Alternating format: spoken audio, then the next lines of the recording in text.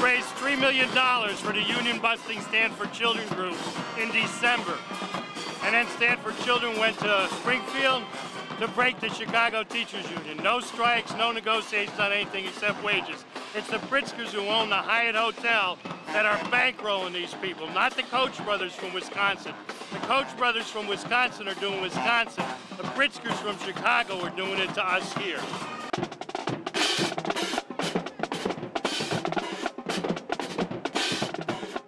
So you're here together with the uh, uh, hotel workers. That's right.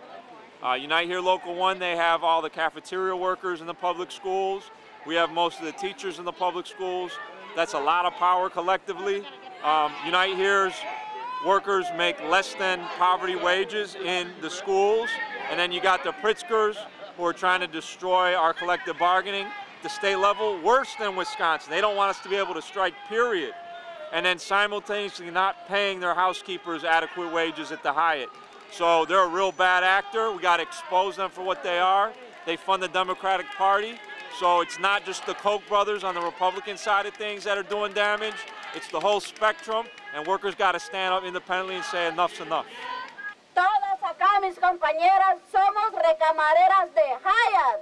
We are all here as housekeepers of Hyatt y venimos acá para darles un mensaje. We have one message for you.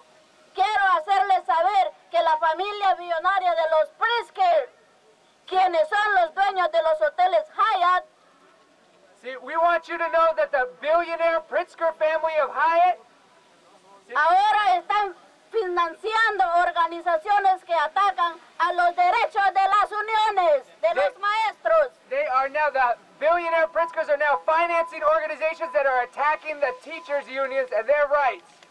Eso quiere decir que los billonarios Pritzker son los mismos que nos atacan a nosotros, las recamareras.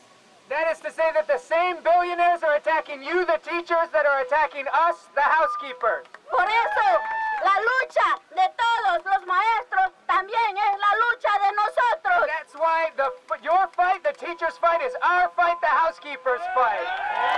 I want to thank the Pritzker family for uniting us all here today. It's not enough for them to go after the workers in their hotels. They have to go after teachers and support staff and other education professionals. They don't want you to have a voice in your workplace. They don't want us to advocate for children, but we're not going to stand for that. We are out there now. We're fighting, and we're never going to give up our rights to bargain. Look at that sign over there. It says it all. Hyatt Regency, top 100 workplace by the Chicago Tribune and Crain's. No wonder. This is about not just teachers and other union workers. This is about the middle class in America. It's about everybody who deserves a fair wage, everybody who deserves retirement security. Illinois is a union state, and everybody deserves the rights we have. Let's go get them! We got a thousand people. We're going to go to one ticket all the way around the building next time. We're going to go to one giant ticket all the way around the building. We're going to single file next time around the building, one ticket all the way around. The building is surrounded. We're going to go to one ticket all the way around the building next time. Got it? Yeah, yeah. Now in March, the IEA had to move its representative assembly out of the Hyatt Regency O'Hare because they don't have a contract and we wouldn't meet in a hotel that won't give the workers a decent contract. We are scheduled, the NEA representative assembly is coming to Chicago this summer. We are scheduled to stay here. If you don't have a contract, Unite here. If you aren't settled with a good contract, we're not staying at this hotel either. We're scheduled to stay at this hotel for the NEARA this summer. We will not stay at this hotel if our brothers and sisters in Unite here do not have a settlement and don't have a contract they deserve.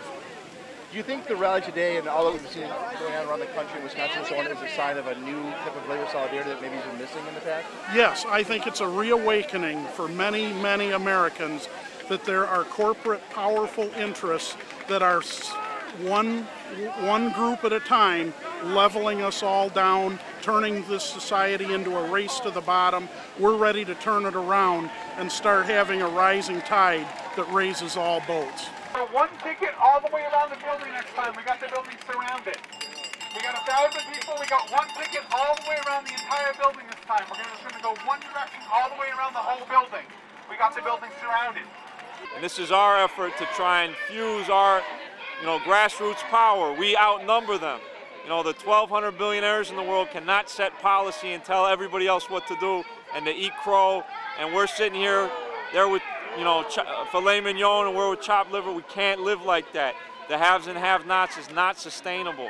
So I think, you know, we're here today to tell the Pritzkers, stop funding the destruction of the public sector, of good union jobs, of good public schools, and keep your money and your politics out of our community. Uh, and, and let's get them to pay their taxes so that we can afford the services that we need.